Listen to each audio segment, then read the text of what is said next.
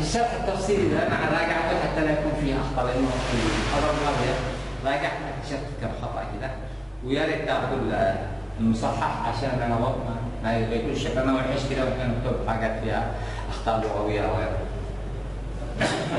هتلاقي التفاصيل هذه تشرح لك كل واحدة ماذا تعني. لاحظ وركز معي في هذه الملاحظة لأنه عندنا مشكلة لما نقدم شوية بالشرح ننسى إحنا فين بالضبط. هذا النموذج ناخذه خطوة خطوة عليه. لكن مش هتلاحظ انه في النص موجود خطوة خطوة. هتلاقي مدبوس مع بعضه كده. بس أنا عندي كم خيار؟ خمسة. حاخذ الخيار الأول لوحده.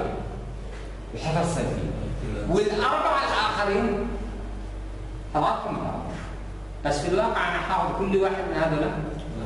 بعين الاعتبار حاخذ كل واحد. حبدا باول خيار لاحظ.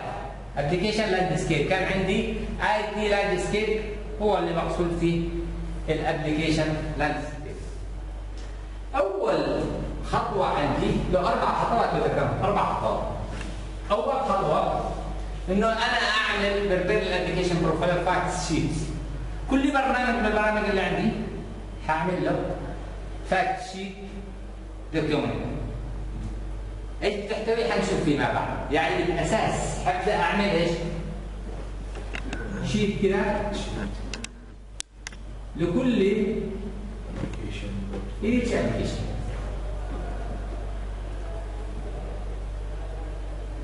المجموع حقها هيكون عندي. بعدد ال applications اللي موجود. حيطلع عندي عدد من ال sheets. تمام؟ بعد ذلك برجع أعمل تقييم لكل شيء. وبعد ذلك هعمل summary لل result وبالأخير هعمل determination for future of future state for each program or for each application هاخذ ال application الأول وأشوف وأقيمه. وأعمل. بعدين أقول هذا حيستمر معايا ولا حستغني عنه ولا ححسنه يعني هعمل قرار بكل application إيش حيكون مستقبله يعني هنبدا بالخطوه الاولى preparation for application الهدف من ان optimize the return of application profile by prioritizing a budget resource to applications that deliver a highest business benefits يعني الهدف انه ان أنا احدد ال application اللي موجود عندي. مين الافضل ومين الاحق وأين أضع الاستثمارات الجديده دائما القاعدة العامة إنه هتحط ال investment في المكان اللي بيعيد value أكثر benefits أكثر. benefits أكثر.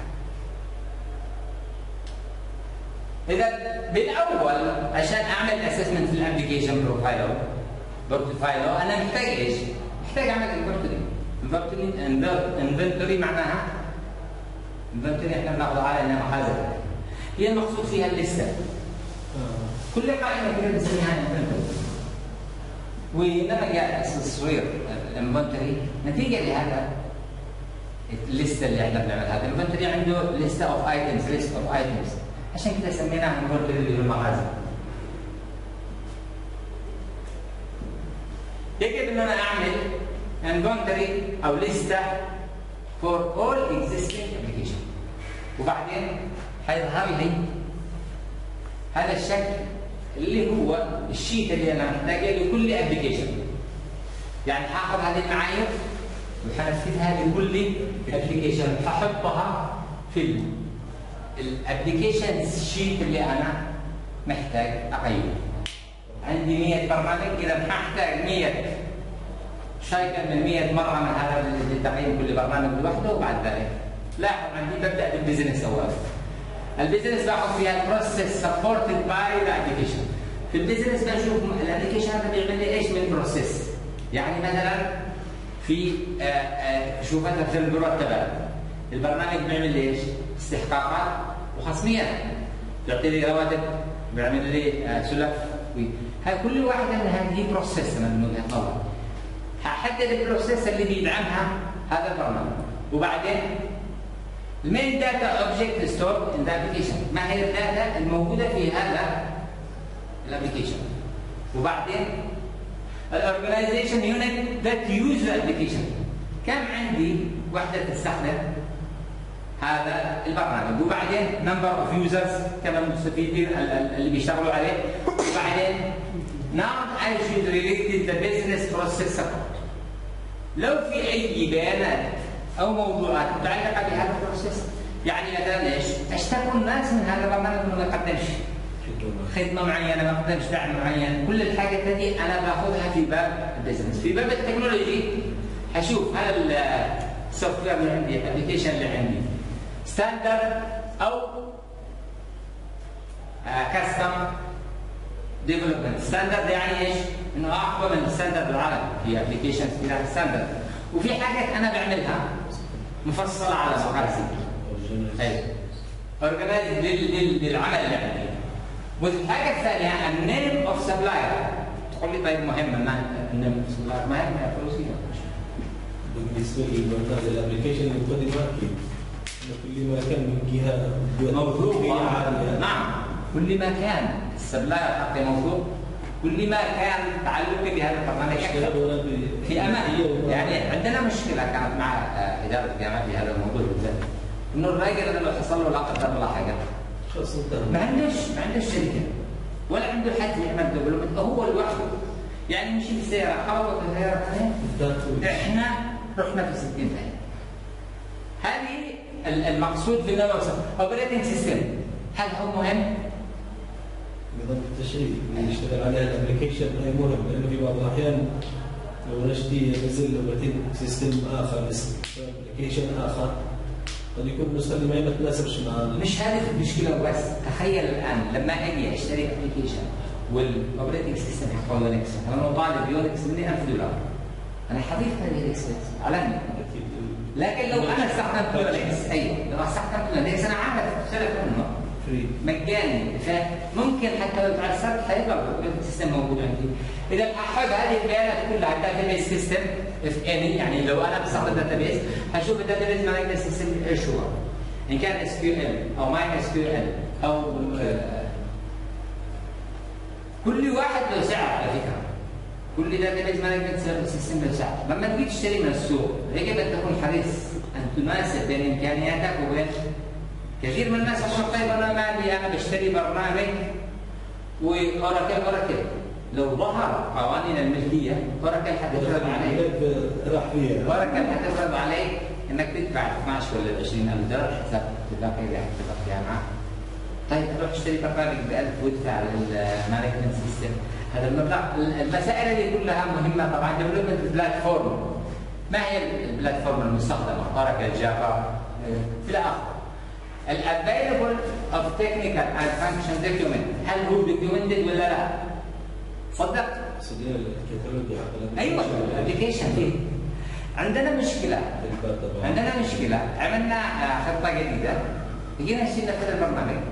ما نعملش خطه تصور لما برفع واحد وبعدين راجع عن الترفيع يعمل مشاكل كثيرة. ما لاقيش أي مرجع كيف كيف تعالج المشكلة هذه؟ لا حضرتك اتصلت بالمبرمج المبرمج في ماليزيا ولا مش عارف وجلس كل مرة اتصل.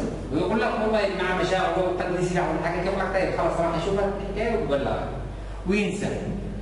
والحين في حاجة document حاجة مهمة. ال life cycle حتاخذ فيها. متى دخل عندي؟ ليش تاخذ متى دخل؟ لأنه أنت مخطط مثلا إنه لما اشتريته كنت تقول إنه عندك سنة ولا سنتين جزئيه ال procurement لأنك قد ضمنت جيبه كل طلباتك. وبعد كده حتعمل نفقات أو حساب لنفقات التطوير. اللاست ميجر ابجريد متى عملت له ابجريد آخر مرة؟ وبعد ذلك النمبر اوف تشينج ريكويست أنت محتاج ان تعدل فيه ماذا؟ كم عدد التعديلات اللي وبعدين نون اشيور ريليتد اي تي ساوندنس وفي الليجل اند فاينانس هتاخد ownership هل اشتريت البرنامج بملكيته لك ولا بقيت الملكيه لصاحب البرنامج. ال investment cost كم دفعت؟ وكم operational cost انت بتتكلم هذه المعلومات عن كل برنامج حتحطها في ال sheet ودرس ال sheet حقك وتكمل. لو أنت كملت هذه الخطوة في الواقع ان بدأت تعمل الخطوة الأولى من خطوات تقييم ال landscape prepare ال application portfolio sheet fact sheet الخطوه الأولى اللي هي prepare ال application fact sheet جهزتها أنت فعلا. الآن محتاج إيش؟ محتاج تحدد حاجتين اثنين الاتجاه الأول business value والاتجاه الثاني ال soundness foundation soundness و technical sound يعني شكله من الأول من قيمته من ناحية العمل والثانية قيمته من ناحية التكنولوجيا ومن ناحية ال- الأسس المتبعة. الاثنين حتجمعهم مع بعض وسميهم soundness والاول حتجمعهم مع بعض حتحط درجه أقول ال business value ححطها مثلا 10 درجات على له 10 أنا حقيم. أنا ما حقيم إنه اضع لكل حاجة مثلا 10 درجات مثلا. المعيار حقي معناها إنه اللو عندي zero وال maximum 10 ال perfect product عندي أو application حاعطيه 10 تقول لي أنا لا حاخذ خمسة زي ما هو عمل خمسة. خذ خمسة. المشكلة لا تفرق كثير. لكن بالأخير انت حتقيم هذه الخمسة كيف حتجيبها لو رجعنا خطوه لورا بس حنشوف ال business حنعرف إن هذه المعايير ال business كل ما كان ال business بيدعم لي process كثيره كل ما كان قيمته عالية. كل ما كان المستفيدين منه أكثر. كل ما كل ما كانت ال data اللي موجودة فيه مهمة أقيمه أكثر. كل هذه حراكمها وأعطيه درجات. لا عندي واحد ثمانية واحد أربعة واحد ستة. حسب المعيار اللي أنا فرض صاحبنا أخذ مثال. وعلى مثال البروسيس سبورت أعطى لها خمسة؟ والأوبريشنال ريسك أند فيلي أعطى أخذ خمسة وأربعة. جمع الاثنين وأخذ الأدب بسرعة معدل أنت عملت أربعة. معايير خمسة معايير. ساب تو يو قسمها وأعطيها يعطي درجات المعدل واجمع ها؟ المعدل يعطي يعني. أيوه هو أخذ الأدرج خمسة زائد أربعة تسعة على اثنين. لو أنت أخذت أربعة حتجمع على أربعة تقسم على أربعة. أيوه هتأخذ المتوسط. طلعت بالقيمة الأساسية اللي هي البزنس هتكرر نفس الحكاية. Of proce- process support. هذا البرنامج بيعمل حاجة. هل يعملها كاملة ولا فيها قصور؟ يعني تعتمد على البرنامج نفسه اللي يقدر لا على المحلل مش أنت قرأت الوثائق. وقرأت قابلت الناس. عرفت إنه الناس بيشتكوا من كذا وكذا وكذا. وعرفت إنه البرنامج مش موثق. عرفت انه عندك قيم الان تكون متجرد. يجب أنك تكون امبايرس يعني. يعني ما تكونش ميال لأي حاجة. تعامل بمهنية وتقيم الأمور كما هي قدامك على الأرض. تعطيه قيم. هنا ال competence وبعدين ال ease of use صحيح البرنامج بيقدم خدمات لكن المستخدم بيعاني منه كثير ما يقدرش يفهمه. بينسى. ما فيش document تعطي له ارشادات بكثير الأسئلة والشكوى زي ما هو حاصل معنا. هذه كلها تعطيها قيم. من القيمه المهنية. وبعد ذلك هتجمعها وتاخذ ال average طبعا الايج وبعدين ال life expectancy حتعطيها قيمة وحتعطي ال supplier relationship قيمة. تعاملت مع هذا ال provider اللي هو ال supplier واكتشفت انه بيكذب تزوق عن تبقى تشتري لك حاجة ويطمس. حتقل قيمة. هذا ال factor عندك في التقييم. حطيت الدرجات كلها وتقيم بيطلع لك قيمه ال soundness و business تمام كده؟ soundness اللي هو technical soundness وال foundation soundness حجمعهم مع بعض. حسميهم soundness لأنه الاثنين وال business value ليش؟ أنا متوقع أنها اعمل شرط. اعمل شرط. وأحدد. هذا القيمة. والقيمه حتكون فين عالية. قيمة البرنامج حيكون كويس. حخليه يشتغل. قيمة البرنامج متدنيه حشره من القائمة. هذه هذا التقييم معيار ال future of ال application ما هو الإجراء اللي حتتخذه هذه الفكرة خلي بالك. أنا بعد بعمل بس. الكلام اللي أنا بقوله الكلام اللي كنت قلته مكتوب هنا. في الحالة الأولى ال business value قلت أنا بشوف ال metrics what is type of process that is supported by application? هذه المعايير أنا عندي اثنين اللي في المثال أنت عندك ممكن يكون أربعة خمسة ستة سبعة عشرة. لا لا تتقيد بهذه بعددها كم. الحالة اللي عندك غير الحالة اللي هو درسها. الوضع اللي عندك غير الوضع اللي تقييمك غير تقييمه. حط الأفكار اللي أنت تراها مناسبة للشغل عندك وحطها واحد اثنين ثلاثة أربعة خمسة عشرة وحط لها هذه ال factors وقيم على أساس هذه ال factors. إحنا قيمنا اثنين وواحد وواحد. الأول قلنا number of process والثانية ال factor a potential financial loss يعني أنا عندي برنامج الآن لو توقف كم حصل؟ يعني لو مثلا أنا عندي برنامج المبيعات توقف أكيد حصل كثير لأنه حوقف لكن لما يتوقف عندي آه، برنامج شؤون الموظفين ححصل إنه واحد غاب وما سجل سبب البيان فكل واحد من هذه له قيمة أكيد اللي اللي بفقد بوقفه بفقد الشيء الكثير حيكون له قيمة كبيرة. واللي المعايير هذه عند المثال لكن عندك انت حيكون لك معاييرك الخاصة اللي هنا weight of completeness of process support and age of use. في الحالة الأخيرة rate of support cost life expectancy expectancy و supplier relationship. حكمة هذول الثلاثة مع بعضها. بس. هعمل summarize هذه الخطوة الثالثة من ال landscape من application مش عارف إيش توقع إيش اللي حصل يا فوزي؟ أشوف شنو خلي بالك من ال summarize، ال summarize لا تعني إنه أنا حستمر في تقييم كل application لحد. لا ال summarize أنا حجمع لها.